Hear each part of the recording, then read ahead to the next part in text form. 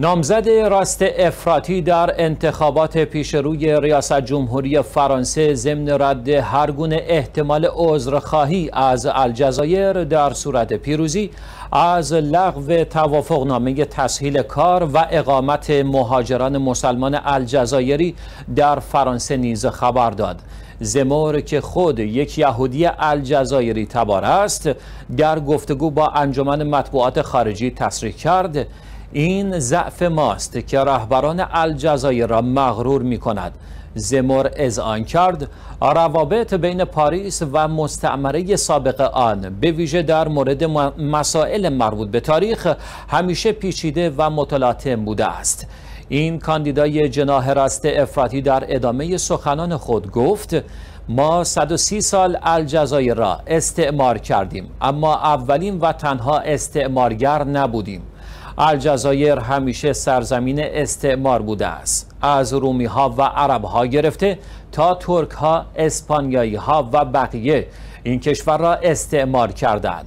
اریک زمور ادعا کرد فرانسه خدماتی نیز به الجزایر کرده است. از قبیل کشف نفت ساخت ها و بیمارستان ها و همچنین خدمات بهداشتی از قبیل واکسیناسیون مردم الجزایر. با این حال او اعتراف کرد در روند استعمار قتل عام و جنگ نیز صورت گرفته و من به هیچ وجه منکر آن نیستم. اما تاریخ جهان همین است. اظهارات این نامزد ریاست جمهوری فرانسه چند ماه قبل از شستمین سالگرد انعقاد پیمان اویان 18 مارس 1962 مطرح می شود که راه را برای استقلال الجزایر هموار کرد. زمور با این هشدار که الجزایر نباید فرانسه را به عنوان جایی برای مازاد جمعیت خود تلقی کند تاکید کرد.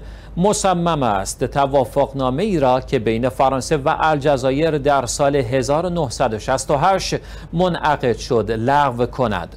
این توافقنامه کار و اقامت مهاجران الجزایری در فرانسه را تسهیل می کند این نامزد راست افراطی در پایان تاکید کرد.